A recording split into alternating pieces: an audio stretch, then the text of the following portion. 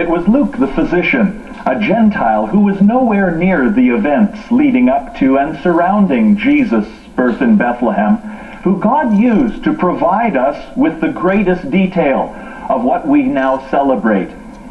Luke, through his association with the Apostle Paul, made careful investigation of the events, writing them out for Theophilus, that he and we also might know the exact truth about what we have been taught.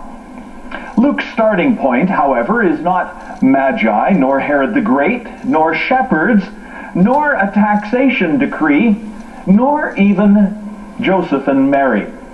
Luke begins with an elderly couple who were very similar to their great ancestors, Abraham and Sarah. Like Abraham and Sarah, this couple named Zacharias and Elizabeth had never held a child of their own. The years had slipped by and the hopes and dreams of earlier days had succumbed to the realization that some things just don't happen. And so with this as a backdrop, we are set in Luke chapter 1, and we find Zechariah in his priestly ministry, in his priestly duty, serving in the temple. And there he sees a vision of an angel who speaks to him. And Zechariah is about to have his world essentially exploded. Those things which have been set apart, set aside, God is yet to do a mighty work in his life and in the life of Elizabeth and their home. The angel speaks to this frightened man, this frightened priest, and here is what the angel says. Do not be afraid, Zacharias, for your petition has been heard. Likely that petition that Elizabeth would bear a child, likely that was years old. But God remembers the prayers of his people. And God had heard his servant, and God had held on to that, and God was about to answer that petition which he had prayed, perhaps that he had now utterly forgotten about. Your petition has been heard, and your wife Elizabeth will bear you a son, and you will give him the name John. John, the name so common among us, the name that means gift of God, for this is exactly what John would be as the forerunner. A gift to these two elderly people, but a gift to us all. A gift to the world, one who would prepare the way for Messiah to come. We continue to read. And in these words which the angel declared, we hear and we see the overall plan of God in sending John that he might come, that the character of John and the character of his life and ministry might reflect the character of God's plan. See what God was up to. See what he was working out. The angel says to Zacharias, you will have joy and gladness, and many will rejoice at his birth. You see, God is the one who brings joy to the heart. God is the one who is now working here to bring about the removal of the curse that descended in the Garden of Eden when Adam and Eve had disobeyed God and when they had wandered from the plan of God. God is now wanting to reinsert that joy that Adam and Eve felt when they walked hand in hand with God.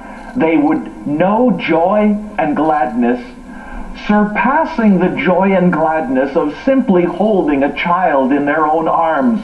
But they would know that God had not forgotten about his people. There in Egypt, in the time of Moses, when Moses comes to speak to the elders of the people, having now come to the age of 80, and God through Moses, reminds the people that he has not forgotten about them. The people are comforted and they are strengthened. They are encouraged.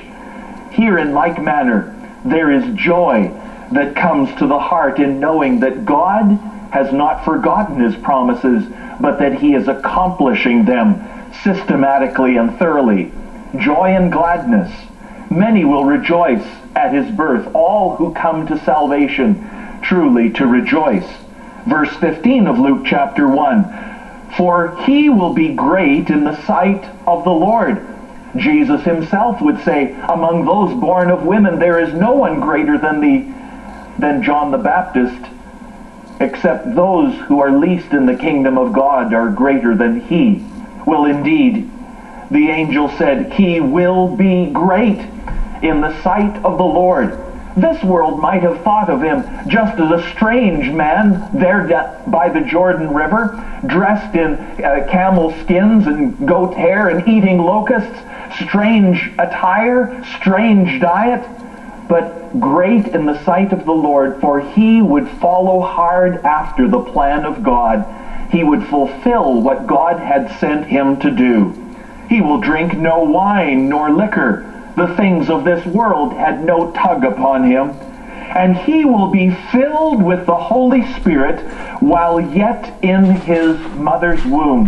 The Spirit of God would be so stirring within him, right from the point of being a fetus within his mother's womb, he would be one who would be filled with the Spirit of God and would have that yearning, that desire, that ambition to be pleasing, to be walking by faith, trusting in the Lord's plans.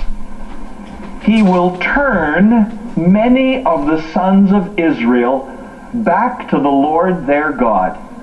We're talking about how the, the character of God's plan is revealed. Here we have this simple word turn, and in that we have the essence of the word repent. John would be the one who would cry out in the wilderness and he would beckon to the people. He would speak to soldiers. He would speak to the powerful. He would speak to the weak. He would tell them, you need to turn from your wicked ways. You need to look to the Lord. You need to set aside those grasping motives. You need to set aside those means by which you get ahead in this world that you might set your affection upon the Lord. He will turn many. He will cause many to repent and to turn back to the Lord. It is he who will go as a forerunner before him. Who is this him? Of course, the Messiah. It is the Jews' great delight. It is he, this little child, who I promise to you. He who will go as a forerunner before him in the spirit and the power of Elijah, the prophet of fire, the man who shook heaven with his prayers, to turn the hearts of the fathers back to the children, to change and to mold and to fashion anew something that had become hard and to melt, melt it and to mold it into something which was pleasing in the sight of the Lord and the disobedient to the attitude of the righteous, so as to make ready a people prepared for the Lord. At this time of year, there are so many preparations.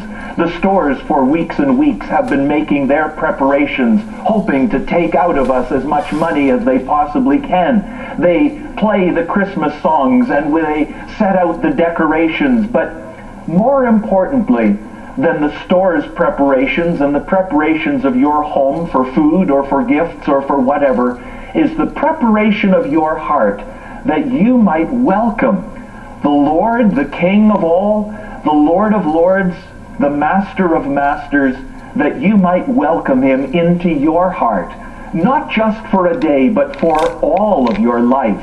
Have you welcomed him?